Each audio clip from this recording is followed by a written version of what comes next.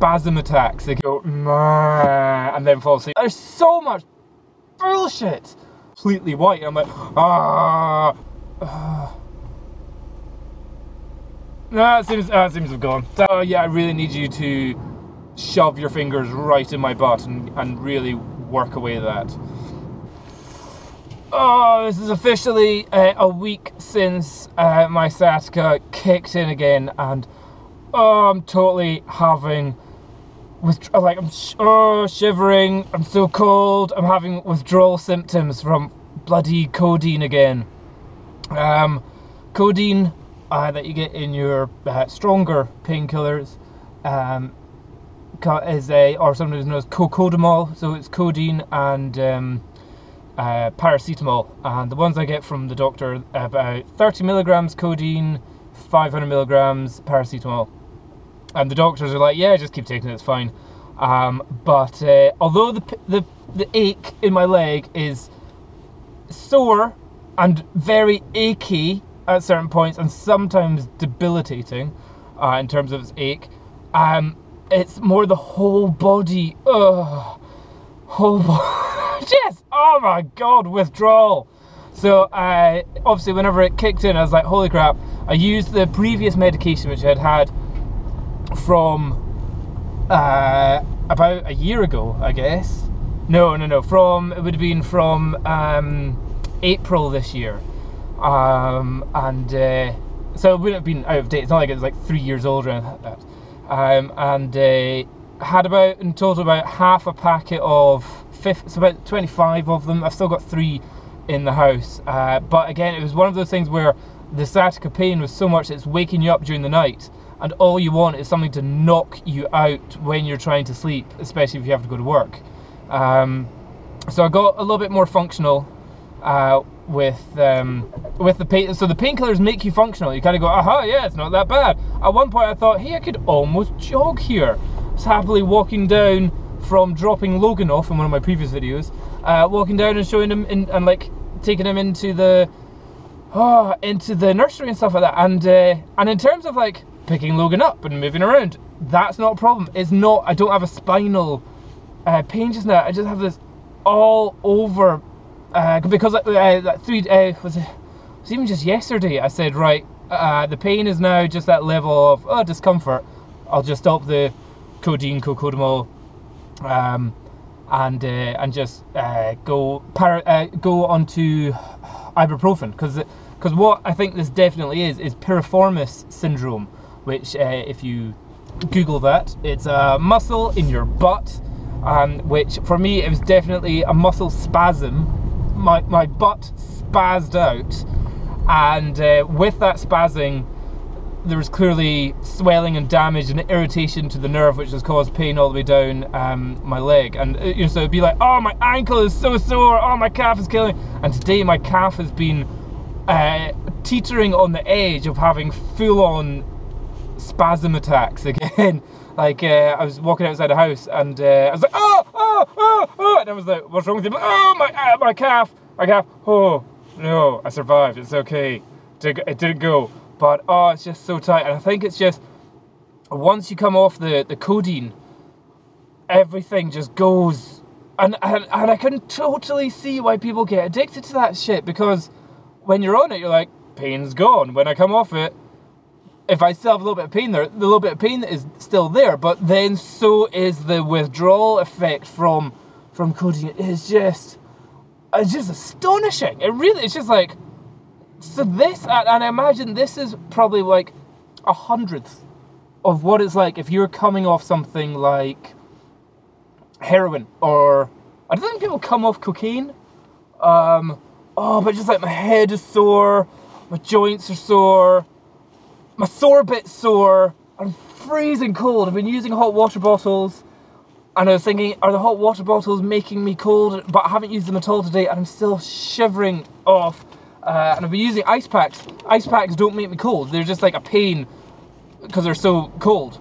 Uh, if that makes any sense. They're not like, oh, I feel chilly. And because it's fairly uh, low, um, specific where it's located, um, it's not like, oh, I, I, get a shiver from my ice pack. Because also it's usually through my tri or through my underpants. Um, it's like in my trousers, against my underpants, undershorts, uh, things, uh, boxer shorts. Um, and uh, so it's not touching bare skin, and it's just like oh, afterwards, like oh, that's that's a little bit like sharp. Like somebody's like oh, pick it away, but uh, that that's that's not really a a cold feeling. It's just that oh, that's a freezing feeling, which is totally different. But um, uh, all I can say is that it's the codeine. It's just bloody ridiculous in what it does. So what I did is I, I emailed, I emailed my doctor. Um, there's a re- repeat prescription, um, repeat prescription function uh, feature that you can do on the website of my doctors, where you can just fill it out and say, can I get more codeine? This is the levels that I want, and uh, I'll pick it up in two days. Fine. But there's a, a page after that says, if you've got any other notes, please fill it out. Uh, so I filled out on the note saying, um, hi doctor, my back has gone into spasm again. Um, it's definitely piriformis syndrome. Um, I was previously on co- codeine or cocodamol. Um, however, as I feel this is more a muscle thing, maybe some form of anti-inflammatories would be far better as I fear I'm having withdrawal symptoms from, uh, or I've had withdrawal symptoms from just the strong painkillers.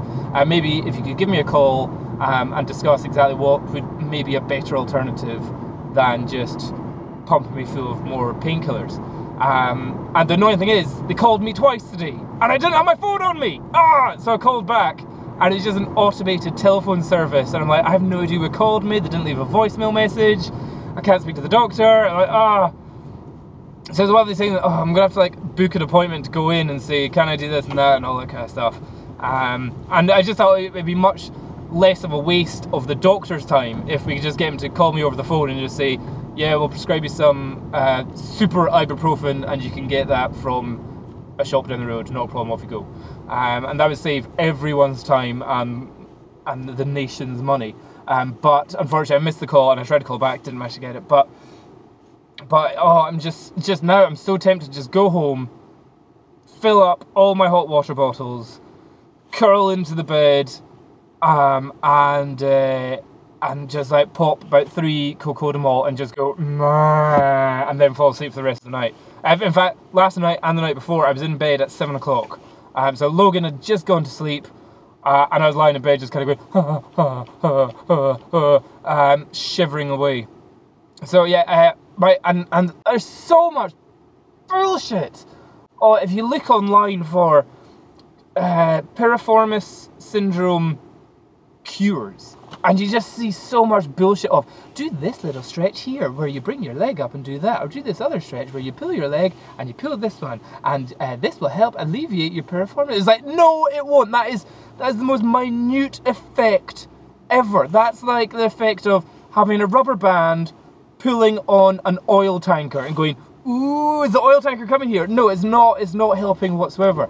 Um, so anytime I see these uh, magical cure or instantly cure uh, piriformis syndrome, you're like, but uh, no, it fucking doesn't. It is, or maybe if it does, if you don't have the actual proper serious problem.